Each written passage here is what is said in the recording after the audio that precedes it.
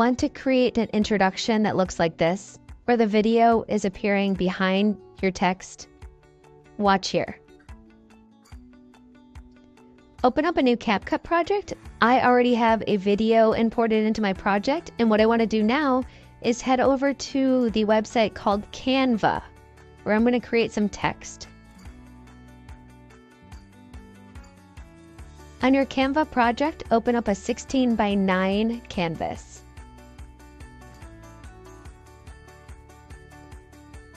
I'm going to make the background of my canvas a dark red.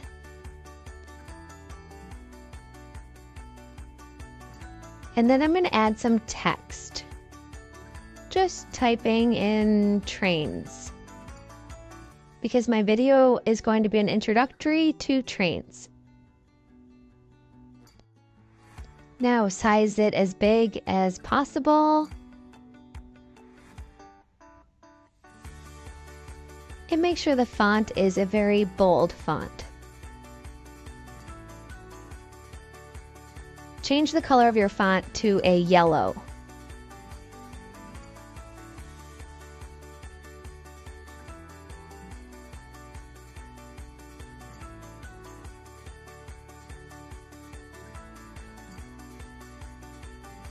Now at the bottom go to Effects and choose Outline. This will give two different lines that we can work with.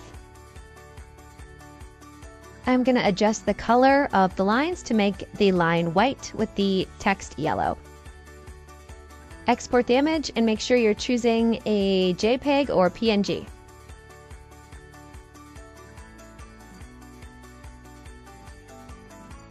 Back inside your CapCut project, go ahead and import that clip.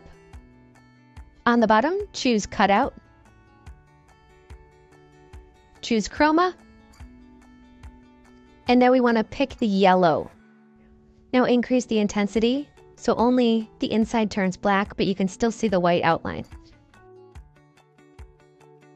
With your text clip still highlighted at the bottom, click Overlay. This will drop it to the bottom. And now make the length of your bottom clip as long as your video clip. Now you can see the video running inside of your words on your page. Now you can see the video running inside of your words on your page. It out.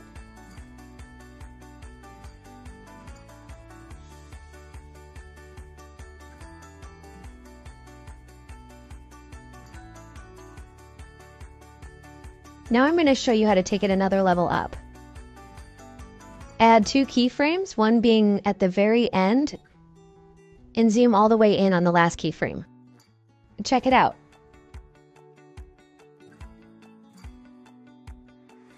Another great idea for an introduction transition would be to add an uh, animation to this page. So go to animation and choose split side. Check it out now. Now with your text highlighted, click Blend.